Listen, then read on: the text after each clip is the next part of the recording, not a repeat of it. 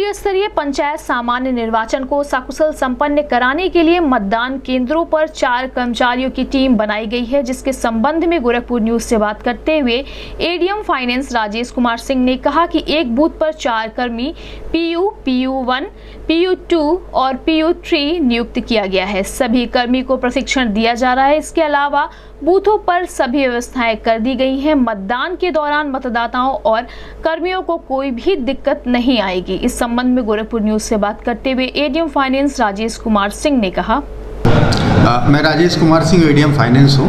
अब की बार मतदान कार्मिकों की उपलब्धता के दृष्टिगत माननीय निर्वाचन आयोग ने एक बूथ पर चार लोगों के लिए PO PO one PO two और पीओ थ्री चार कार्मिकों का दल है, मतदान कार्मिक का, और इन चार लोगों को चुनाव करना है।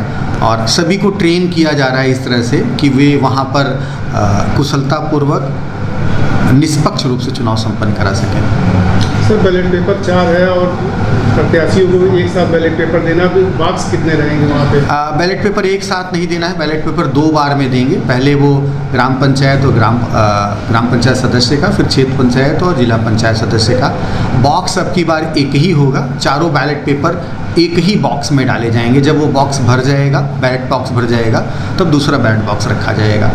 प्रत्येक बूथ पर दो बैलेट बॉक्स आवंटित किए गए हैं। यदि कहीं पर आवश्यकता होगी तो तीसरे बैलेट बॉक्स की व्यवस्था की जाएगी। सर क्या व्यवस्था रहेगी मतदाताओं क्योंकि समय काफ़ी लगेगा लंबी लाइन लगेगी गर्मी का समय भी है। इसको देख के बूथों में क्या व्यवस्था निर्वाचन आयोग ने सुबह सात बजे से शाम को छः बजे तक का समय रखा है।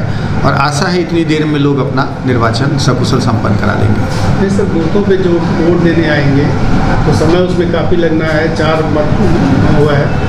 तो वहाँ क्या व्यवस्था है? टेंट पानी इस तरह की क्या व्यवस्था है? प्रत्येक वर्ष बूथ पर जैसी व्यवस्था होती है और निर्वाचन आयोग जितना व्यवस्था के लिए निर्देशित करता है वहाँ छाए की व्यवस्था रहेगी बैठने की व्यवस्था रहेगी पानी के पीने की व्यवस्था रहेगी।